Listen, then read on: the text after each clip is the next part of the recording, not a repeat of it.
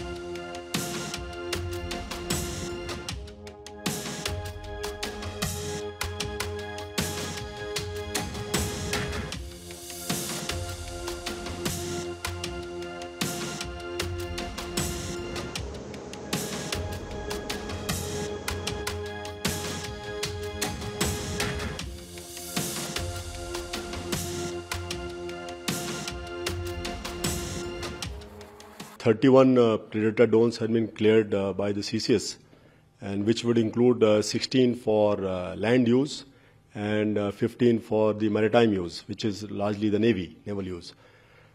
These are very capable platforms with large endurance, and therefore they will help us tremendously in uh, keeping our area of uh, interest and uh, of area of responsibility under surveillance, so that we can know who is doing what and why.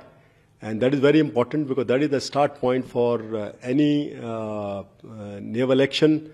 And uh, we would like to uh, ensure that, as far as part of the overall maritime security, the Indian Navy is fully aware of who is what is happening in our area of interest.